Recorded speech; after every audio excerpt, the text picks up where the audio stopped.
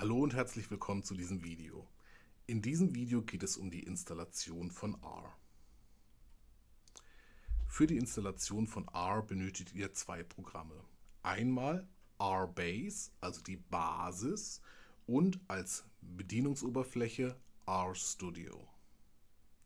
RBase erhaltet ihr vom CRAN-Server.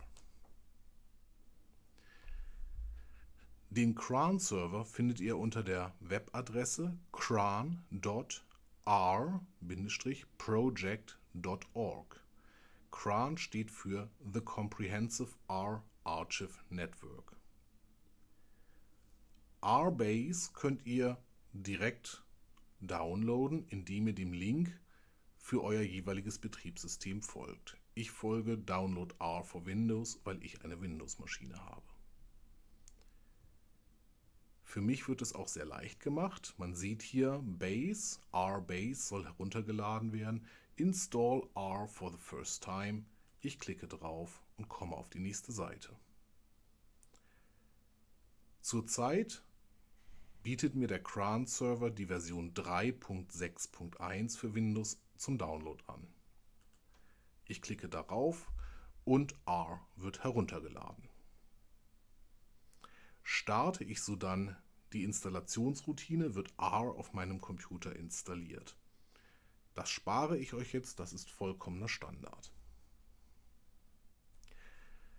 Ist R dann installiert, findet man R über das Programmmenü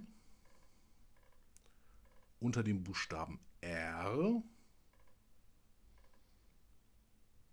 Und dort findet man zwei Versionen, einmal die Version RI386 und die Version RX64. Die Version i386 ist für Maschinen mit Intel-Prozessor, die andere Version für Maschinen mit AMD-Prozessor optimiert.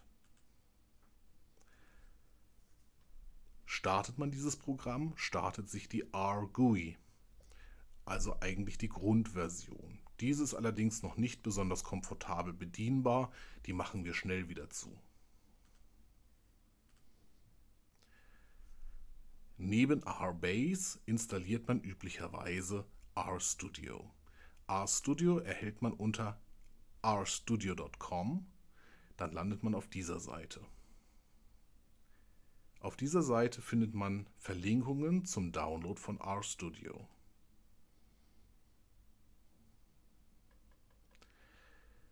Auf der nächsten Seite wird man aufgefordert, die entsprechende Version auszusuchen. RStudio Desktop für den Privatanwender ist in der Regel frei.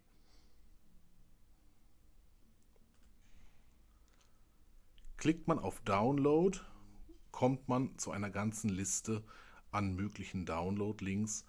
Da geht es nun darum, das eigene Betriebssystem auszusuchen. Wie gesagt, ich betreibe einen Windows-Rechner und klicke deswegen auf RStudio for Windows.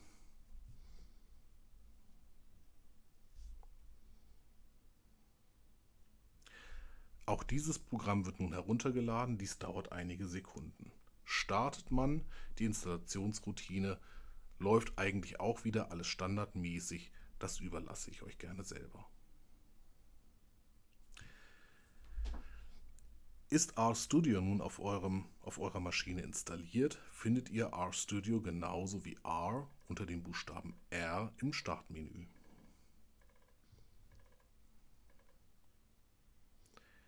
Hier ist nun RStudio installiert und ich kann RStudio von hier aus starten. Ich persönlich mache es mir sehr einfach und habe mir RStudio als Link auch in die Taskleiste gelegt.